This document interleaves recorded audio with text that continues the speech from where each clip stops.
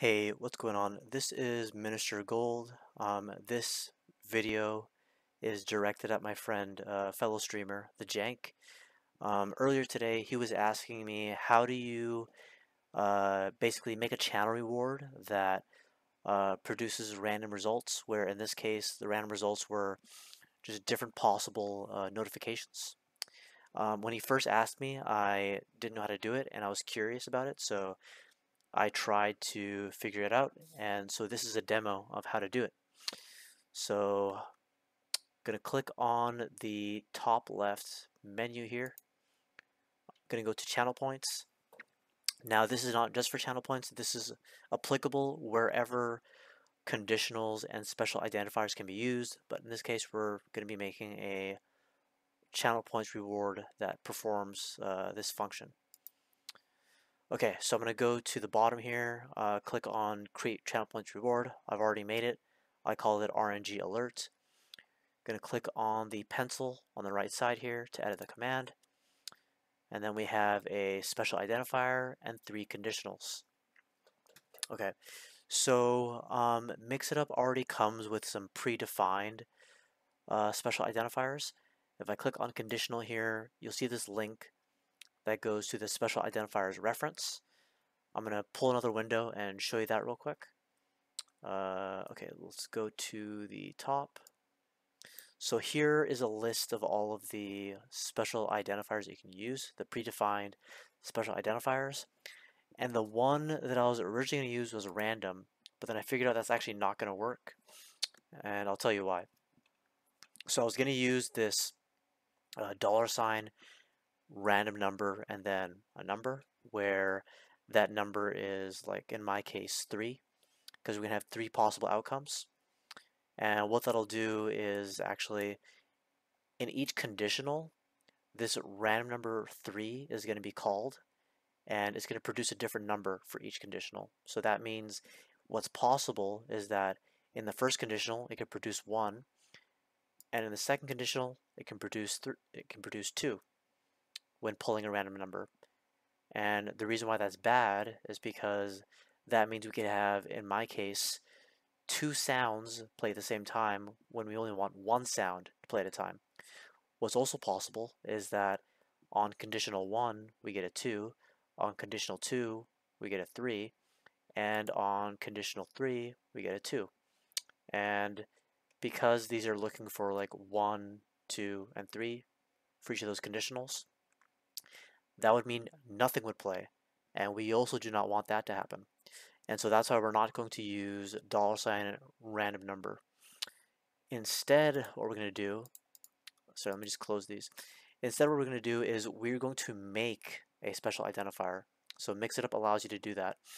If you go to the bottom here, there's a drop down. Click on the drop down. You're going to look for a special identifier. It's right here. Click on that. Hit the plus sign and put at the top here. And then over here is where you name your special identifier, whatever you want. For my case, I called it some number. And then over here, uh, this can take numbers, it can take text, it can take um, uh, functions. Um, in order to know which functions it can take, uh, you should look at uh, this website. I'm going to go back for a second. Okay, this website will tell you, this is on GitHub, this will tell you all of the possible um, like functions you can use, the functions that are compatible with Mixitup.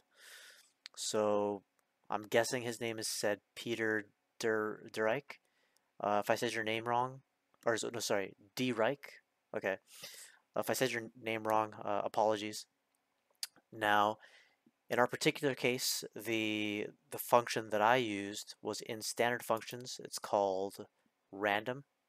Okay, I had to do a, I had to play with it a little bit to understand how to use it, but uh, yeah, I'll be able to demo how that'll work. Now what it says is generate a random double value between 0 0.0 and 1.0 now, I'm going to guess what a double value is, is it's some sort of decimal number because it says 0, 0.0 and 1.0. But even if that's the case, um, pulling a random alert worked pretty consistently for me, so I'm not concerned about that um, until otherwise, you know, disproven.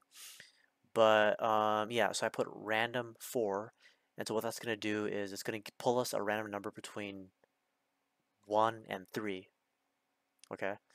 Um, now we're going to make it globally usable so that we don't have the issue that we would have with the uh, random number identifier so that if it pulls a 3, it'll be a 3 for the first conditional, second conditional, and third conditional. That's why we want to make it globally usable. And we're saying is math expression because this is going to be math. It's going to be a number. It's not, it's not going to be text. Okay? Now as far as these conditionals, I'm using the variable that I created, some number. If it's equal to 1, then play this sound, nani. Okay? Conditional 2. If some number is equal to 2, then play this one, fight from Mortal Kombat. And then conditional 3, if some number is equal to 3, then play this sound, on fire from NBA Jam. Okay? So that's pretty much all you have to do to, um, you know, make a Channel Points reward that plays a random alert, in my case. It doesn't have to be sound, that's what I used. You can use any of these actions here. But uh, anyway, let's go ahead and demo it, make sure it works. Let's save this. And let's go back over here.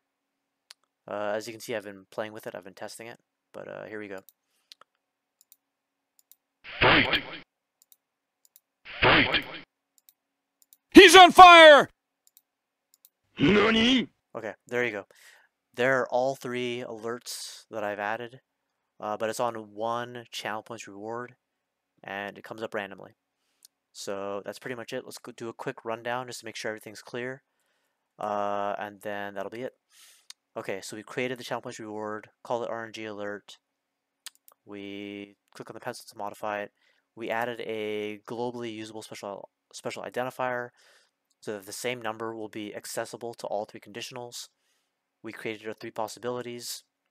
We reference our variable, our special identifier that we created, set it to 1 for the first one, 2 for the second one, 3 for the third one, and we set our unique sound that we want to play uh, for each conditional, uh, depending on you know whatever that number is when it's pulled.